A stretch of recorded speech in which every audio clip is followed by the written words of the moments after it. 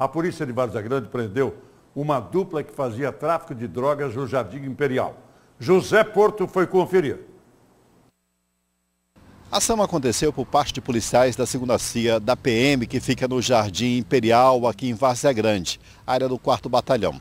A polícia acabou, na realidade, desarticulando um ponto de venda de drogas e depois chegando até um local também onde os traficantes, aqueles do tipo atacadistas, escondiam uma droga em maior quantidade. A abordagem aconteceu pelo bairro Terra Nova, onde havia suspeita de que numa residência várias pessoas faziam comércio de entorpecentes. Os policiais chegaram pelo local, abordaram um rapaz que é um adolescente de 17 anos.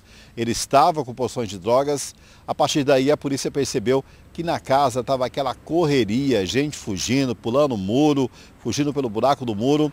A polícia, claro, fez o adentramento, conseguiu prender mais uma mulher e encontrou dois tabletes de maconha. Diversas denúncias aí, porém o crime ele vem se especializando, né? E aí fica cada vez mais difícil a gente conseguir fazer algumas prisões, mas graças a exatamente isso, a insistência, sem essa parceria, né? sem essa parceria com a comunidade fica difícil. E graças a essa insistência aí da equipe policial, né, que chegou no local e visualizou né, que tinha esses, essas primeiras quantidades de drogas que foram apreendidas, esses dois primeiros tabletes, né?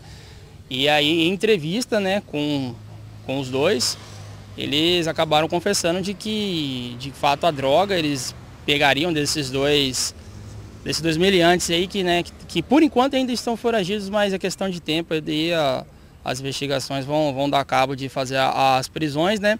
Uhum. De que eles seriam aí, né, os fornecedores aí da droga, né? Dessa maior quantidade. E, e o que se confirmou. Droga, né, Exatamente. Eles enterram aí numa tática aí que eles utilizam, até porque quando é feito aí as abordagens, né? E posteriormente os, a gente consegue adentrar as casas aí, fica mais fácil para eles esconderem em quintais ou então em terrenos baldios vizinhos, né? Que é onde eles costumam ter essa prática aí de enterrar a droga, né? Mas a guarnição aí conseguiu ser mais esperta aí do que os, os suspeitos foram conduzidos, né? E conseguiu é, fazer essa grande apreensão hoje aqui na área do quarto batalhão. A comunidade tiver qualquer tipo de denúncia, pode ficar tranquilo e passar que a gente vai correr atrás de todas elas.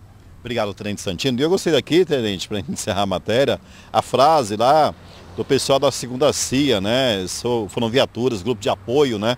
Para prender os traficantes aí na ação de vocês, que a satisfação está no esforço e todo esforço tem a sua recompensa, ou seja, menos traficantes na rua, menos drogas em circulação. As imagens do Evaldo Santos e o apoio técnico do Itacir, José Porto para o Cadeia Neles.